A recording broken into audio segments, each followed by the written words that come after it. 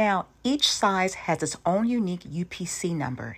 If you have an item that's available in various colors, each color will require its own unique UPC number. This also applies to different colors as well.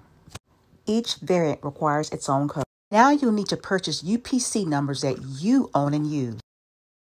Do not Google and purchase UPC codes from just anyone. These codes might not be valid. You need to use a reputable company. Walmart referred our shop to purchase numbers from speedybarcodes.com.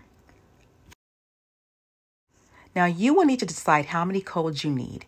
If you don't purchase enough, don't panic. You can go back and purchase more. And remember, these are tax deductible. Now you're approved and have your UPC numbers. You can now begin uploading your products. Now, if you're knowledgeable of this process, you might begin the integration on your own. But if you're unsure of the process or you're not comfortable, Walmart has a list of integration companies that they have approved to handle seller integration for their company you can decide which one you would like to use. Our shop used Walmart integration by CedCommerce, and we loved it. Now, once all of your items are uploaded and approved, you will receive an email from Walmart stating that you are now live on walmart.com. Start celebrating. Okay, the hardest part is done.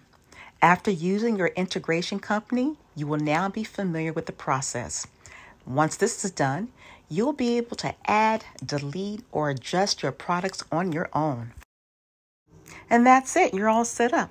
You might want to announce to your customers that you're now on walmart.com. Enjoy!